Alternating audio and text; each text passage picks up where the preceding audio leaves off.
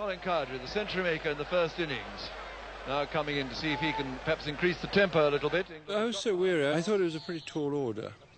And it did hinge on the start, really.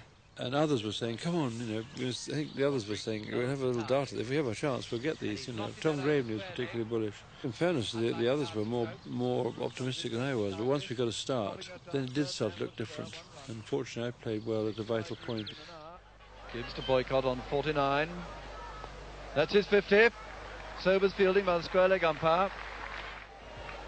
80 runs needed as Cowdrey faces Gibbs. And he's hit that hard and high and he's going down the long on boundary. And it's four runs, well clear of all the fielders. England score 140 for one, chasing a target of 215, which means they need 75 in 55 minutes. Sobers comes in, bows to Cowdrey, and he's played that one down to fine leg, and it's four more runs.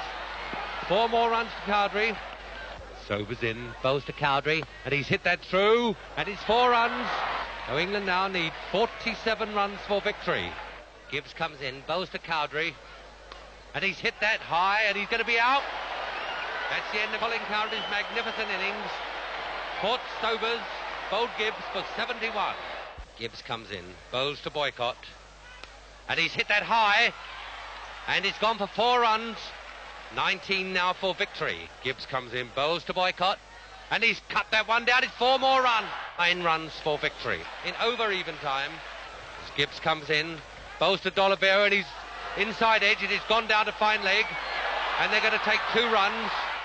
Three runs needed now for victory, and it could well be that this is the last over of the day, of the match. And he's hit that to mid wicket. They've taken one, and they're taking another one. Two runs.